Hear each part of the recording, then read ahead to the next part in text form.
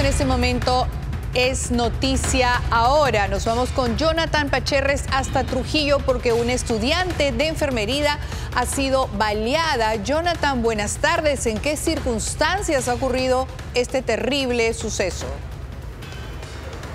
Hola Maritere, ¿cómo estás? Buenas tardes. Desde la ciudad de Trujillo, sí, la inseguridad ciudadana en esta provincia, bueno, en toda la región de la Libertad, es alarmante. El día de ayer, en horas de la tarde, dos sujetos a bordo de una moto lineal que precisamente las cámaras de seguridad de, este, de esta empresa de transporte pudo, pudo captar la contextura de estos delincuentes. Sin embargo, aún no hay identificación de la Policía Nacional.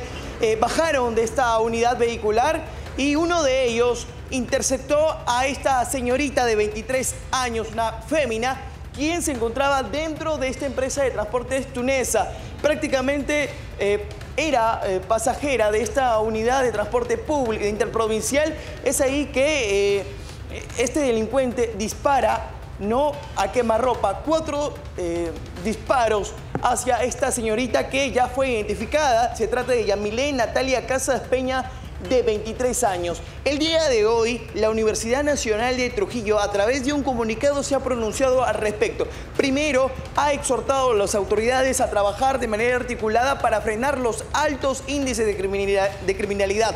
Lo segundo es que esta señorita era o es estudiante de la carrera de enfermería de la filial de Guamachuco, una filial que se encuentra en esta ciudad eh, por parte de la universidad, esta casa de estudios, y frente a ello, la Policía Nacional aún no identifica a Maritere a los delincuentes. Y tampoco eh, sabemos más detalles sobre esta investigación.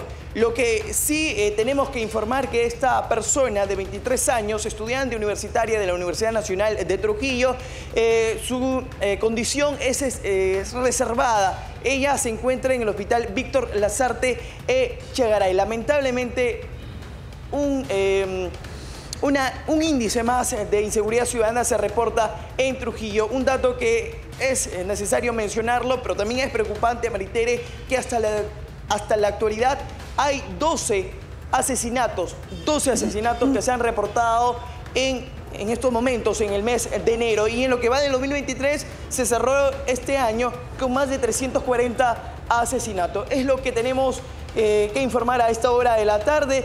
La eh, señorita Yamile Natalia, Yamila, perdón, Yamila Natalia Casas Peña, de 23 años, aún su salud es reservada. Los pasajeros se encuentran pues obviamente preocupados con esta, situación. Entendemos que en estos momentos continúa eh, eh, vendiendo pasajes en esta empresa de transportes tunesa y esto ocurrió, como te indicaba Maritere, en horas de la tarde del día de ayer, lunes. La Casa de Estudios, la Universidad, eh, Universidad Nacional de Trujillo se ha pronunciado al respecto sobre esta situación. Maritere, si es que tienes alguna consulta en estudio. No, Jonathan, eh, creo que has hecho un informe bastante completo. Es un hecho que tenemos que lamentar. Lamentablemente, como también lo has indicado, pues el pronóstico es reservado de esta persona, de esta joven. Esperemos que se pueda recuperar pronto. Y sí, la delincuencia está terrible en todo lo que es la libertad.